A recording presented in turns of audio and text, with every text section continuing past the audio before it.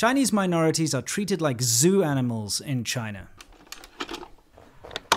China has 56 ethnic minorities. It might seem strange for some of you people out there, but when you go to China, you expect Chinese people to just be, well, Chinese. And for the most part, they are. We've got the majority there. It's called the Han majority. Those are the people that you're used to seeing. Those are the Xi Jinpings of the world. Those are the Communist Party. Those are the people who run the show. And that's the majority of people you see everywhere.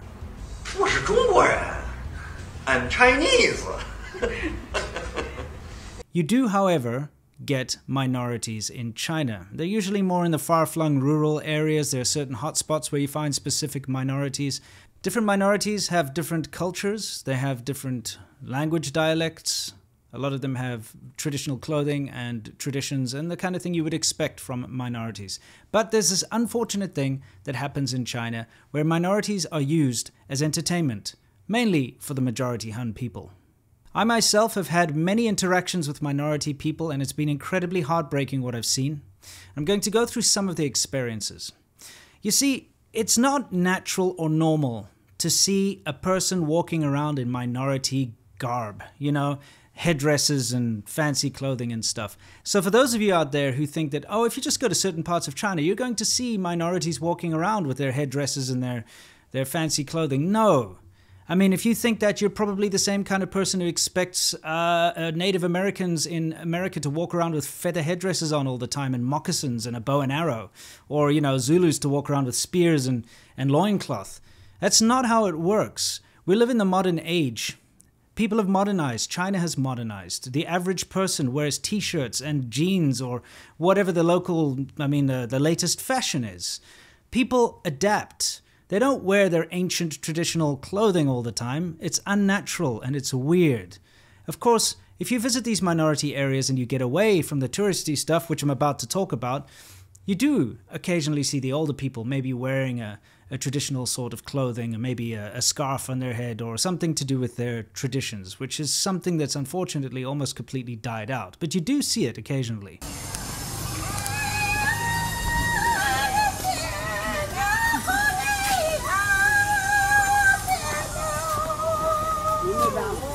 There's this industry that has cropped up, however, in more recent times around China, where they've kind of glamorized the idea that China has these minorities. Now, it goes against what the Chinese government has been trying to do for the longest time, which is turn China into a monoculture. All right? Get rid of the differences in the different ethnic minorities, especially since they're terrified of separatism. I mean, we see it with the Uyghurs, we see it with the Inner Mongolians, we see it with the Tibetans. They ship Han majorities into the areas, they set up the shops, they get rid of the language of the uh, off of the signs. They make sure that if there are going to be signs in, say, Tibetan, that there are also signs specifically in normal simplified Chinese. Everything has to be normalized. That's why all the minorities have to, by law, learn how to speak Putonghua, which is Mandarin, the standard language. And like I said, they try to make everything honeyfy everything, make it all. It sounds nice, doesn't it? Honeyfy, like you're making it out of honey, but it's not honey, it's Han, H A N, the majority you know, of uh, Chinese uh, ethnicity. So, you know, here we go. We've got the situation where they kind of want to get rid of all the changes. They want everything to be the same, but they see that it's kind of a PowerPoint to say that we have 56 ethnic minorities. And whenever you see some kind of big, I don't know, celebration, Chinese National Day or New Year celebration, you often see people dressed up in all the minority clothing, doing dances, minority dances. Very often you see Han people dressing up in the minority clothing as well, doing it, which is whatever, you know, take it or leave it. Here's the big issue though it has turned into an industry where people from ethnic minorities are taken advantage of and used as entertainment like zoo animals out on display. I'm going to tell you about my experiences. You see, I've traveled across China by motorcycle and this was completely unrelated to anything, just exploring by myself, later with friends like Laowhy86, but just exploring with no agenda, just to go and see what China is like.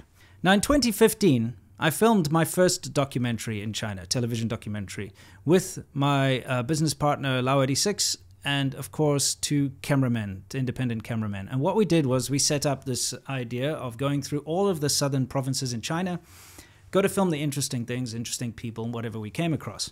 Now, when you plan a documentary like this, you have to have a kind of a set schedule of where you're going to go and what you're going to do.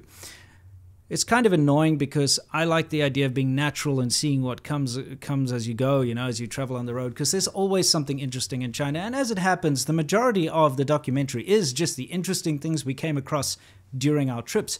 But we did have a few things planned, which uh, our producer, one of the cameramen, was, you know, had to do. Now, producer had seen something about these long haired ladies in this place called Longsheng in Guangxi province. Now, in order for us to go and see these long haired ladies, we had to go into this massive tourist area, which you have to pay a hefty fee to get inside, a couple of hundred RMB, which is a lot for China.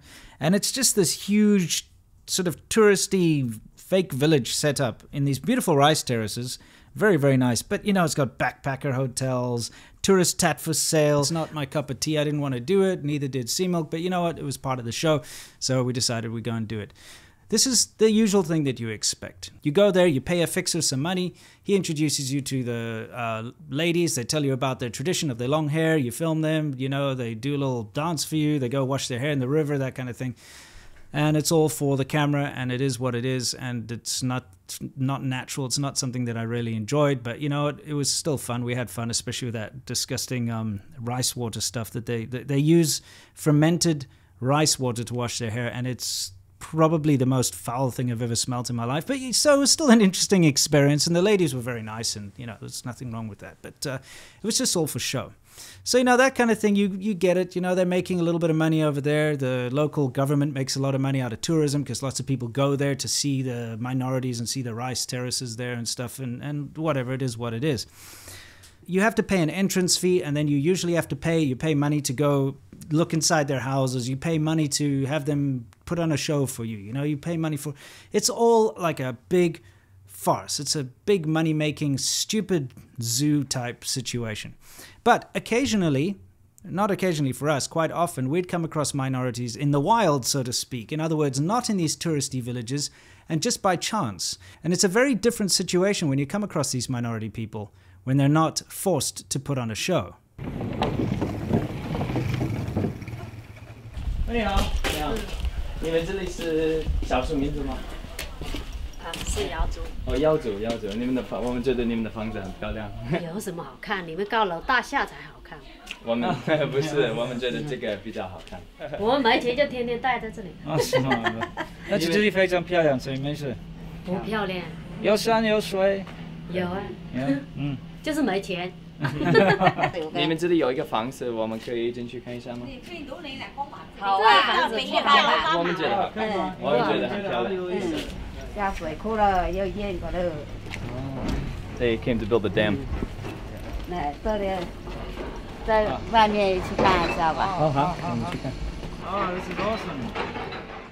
Now, what you're seeing here is an excerpt from our documentary Conquering Southern China. I really implore you to go watch it if you haven't already. The links are in the description. But the thing is, these people, these Yao minority people, invited us into their homes. This was completely unscripted, this was not arranged. Uh, and you can see the hospitality that they show us, but we also learned how tragic their situation was because their entire village was about to be completely flooded because of a dam being built down the way, and there was nothing that they could do about it. 这里以后就没了吗？拆了。哦，这里加水库了。哦。这里以后就没了，这里就水了。Yeah, it's a pity to hear that, you know, but that's unfortunately the march of progress, and you see it all over China, knocking down all the sort of interesting little villages and whatnot and putting up high rises.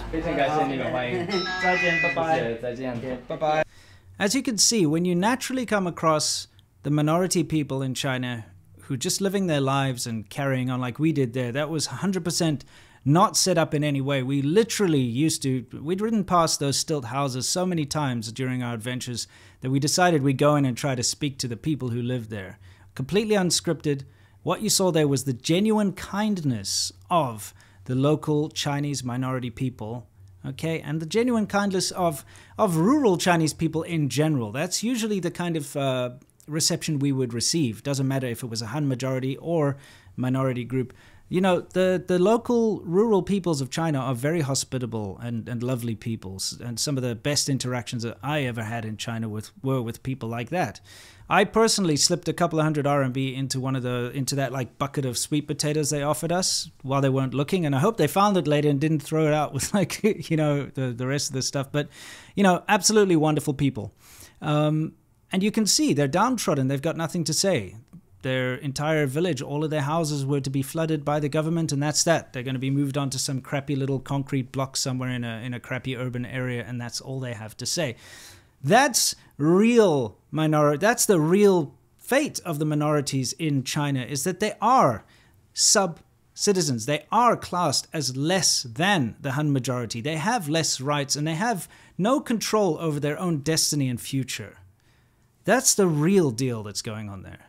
Now I want to move on a little bit more. Uh, you know, this whole thing about the touristy thing, it seems all good and well if you've got a bunch of adults going around dancing and wearing their traditional clothing. And yes, we were roped into doing it again. This time in Yunnan, in the very south of China, um, and we we had to go dance in a bloody um, circle. It was it was all set up, obviously, and it was a ridiculous thing. Although, no joke, we had a lot of fun catching those fish with our hands and stuff like that. But you know, that's once again. Um, kind of the whole deal when you go to these types of places. But before we went to go meet meet up with the the women and dance with them and you know all that junk, um, we went to another little touristy kind of village thing. Now, it's part of this huge complex. There's this whole area, and I must say, it must it's like a whole mountain, really. And there are multiple villages and uh, you know places in this mountain.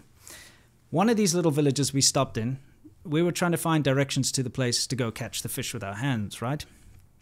So I walked into this place, and there's this uncle sitting there on the side of the road. He's just sitting there with his tourist tat. He's got like a, a little shop that he sells the usual crap you can buy the exact same tourist tat there that you can anywhere else in the country. You know what I'm talking about. So anyway, he's sitting there, and uh, he calls this little girl to come out. Okay, so this very shy-looking little girl in traditional dress, which is of course completely unnatural, comes out and walks to come and talk to me. Okay, because he saw we arrived there, we had our cameras and everything, right? So he sends her out she's incredibly shy, and then he starts talking to me. He starts saying, "Oh, look, she's a honey people." This uh, hello is uh, honey people. Honey. You know, because they're the the honey, the the honey minority. So I guess it's Hanizhu, right? So it's uh, one of the ethnic minorities that you find in uh, the south of Yunnan there. So he's saying, "Oh, she's a honey person," and then he says that if we pay him that she will perform for us. Obviously, this is not something that I'm going to partake in. I'm not interested in this crap. I try to make some nice, light conversation with her, tell her, her ni- how nice her clothing looks, and you know that she looks uh, very, very good in it. It's very cool and that sort of thing.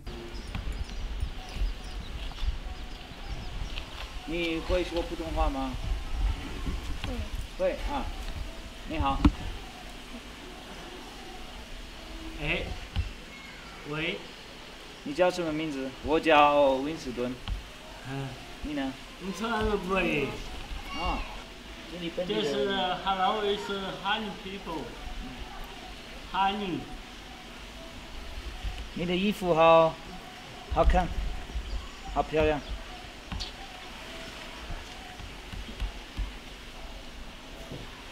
Cheva,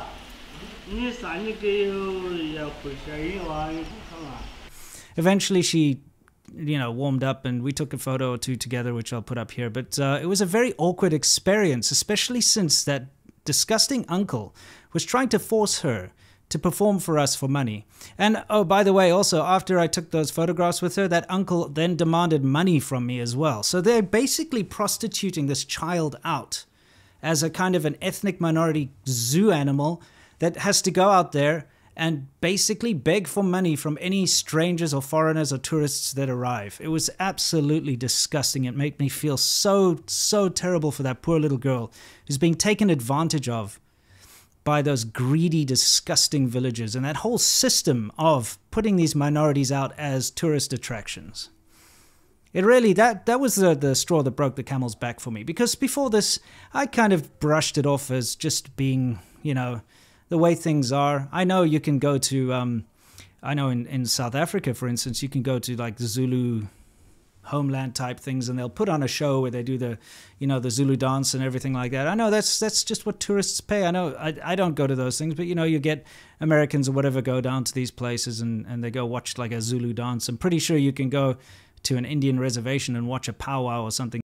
uh, the, the the thing about the world really is people find different cultures curious curiosities and they want to go and see them and they find them interesting. So you know, from that point of view, you know, if, I didn't think it was too bad because everywhere you'd go, you'd find these little tourist villages, and they, I tell you what, you'd think they're real or something because you see a lot of this stuff being put out there on media. You get all those compromised influencers and stuff go to all these like little minority villages and go and see the kids and dance with them and do all this. It's all bullshit. It's a big show put on. It's like I said, it's like a circus or a zoo. It's not how the minority people really live. They don't live in those villages and actually do that. They have to wear all their traditional clothing and stuff and walk around with the these headdresses with metal all on them and all their you know colorful clothing and things and and you know it's it's disingenuous because when you meet them and they're outside of the tourist villages in the real China, in the real life, the minority people don't walk around like that. Okay, it's impractical. If you're going to work the land or do whatever it is you do out there, you don't wear all this traditional garb. This is stuff that's usually reserved for weddings or special occasions, you know? It's not the kind of thing that you wear every single day, all the time, 24 7. And that's what you would think if you went to these uh, touristy villages that all these you know, compromised influences and stuff do, and state TV from China.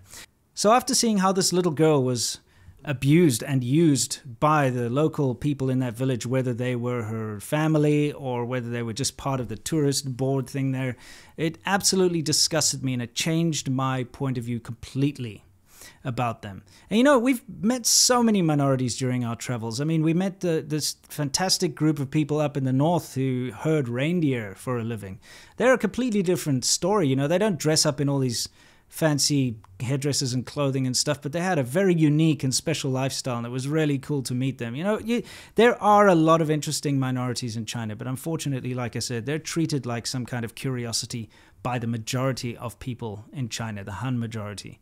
And you see that all over. In Xinjiang, the mosques are used as tourist attractions now for the Han majority. You know, these are places of worship that have just been turned into a, an interesting place to go take photos. You know, the, the Tibetans and everything that goes on in Tibet, also just a curiosity for people to go and see, you know, on holiday. It's, it's kind of disheartening. So I hope I've given you a little bit of perspective as to what's going on with the minorities in China. They are, just like everyone else, just people trying to make it through life. And unfortunately, they've been pigeonholed into this kind of performance. I don't even know how to put it, like a, a performance jester clown act, and this is what they have to do. It's unfortunate, and a lot of them are left with no choice in the matter. Anyway, until next time, guys. I just want to say that my, my thoughts and feelings are with the minority people in China and all the people of China who really do not have any control over their own destiny. Until next time, you know the drill. As always, stay awesome.